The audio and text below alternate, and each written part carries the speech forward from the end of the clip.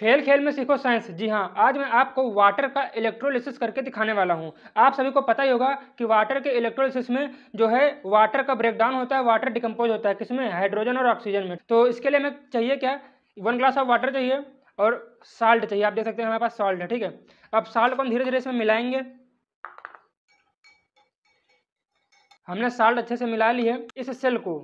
इसमें डालने वाला हूँ। अब ये जो सेल का जो पॉजिटिव टर्मिनल होता है, इसे एनोड बोलते हैं और जो नेगेटिव टर्मिनल होता है, इसे कैथोड बोलते हैं।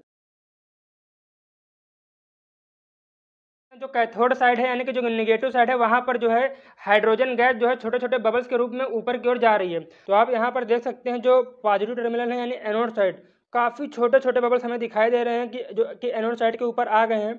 तो ये हमारी जो गैस है वो ऑक्सीजन गैस है, यानी यहाँ पर ऑक्सीजन गैस का जो रेट है निकलने का वो काफ़ी ज़्यादा स्लो है।